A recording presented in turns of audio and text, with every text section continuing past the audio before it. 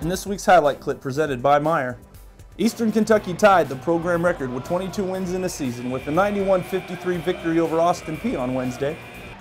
With the win in their final regular season home game, the Colonels also tied the school mark for most home wins in a season.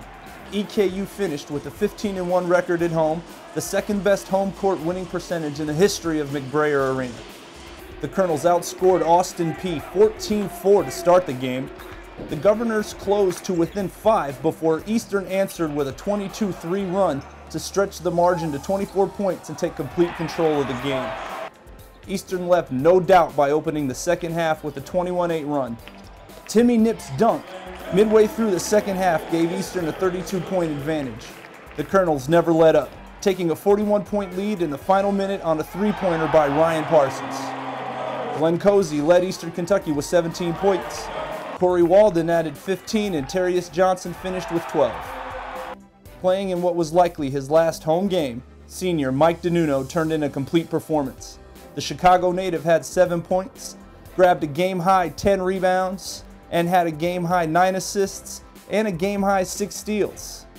You know, we set the tone with our defense. Uh, we, that's what we try to do every game. And uh, you know, I really had a focus of coming out and trying to disrupt their guards tonight, and uh, you know, luckily it worked out, and our offense, everything offensively fell into place, and we got a big win. Eastern made just 33% of its shots in a road loss to Valparaiso on Saturday in the 2013 ESPN Bracket Busters. Corey Walden scored a game-high 20 points, and DiNunno finished with 19 points. We'll switch it over to the women now where Eastern Kentucky women's basketball team defeated Austin Peay 69-55 on Saturday on Senior Day at McBrayer Arena.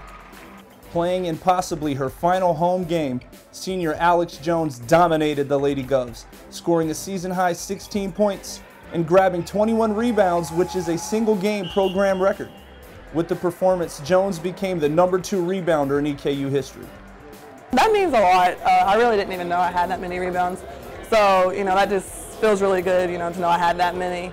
And especially on senior day, it kind of makes it more memorable, I guess. Junior Marie Carpenter also scored 16 points in the win as first place EKU wrapped up the regular season 13 1 at McBrayer Arena and improved to 11 3 in OVC action.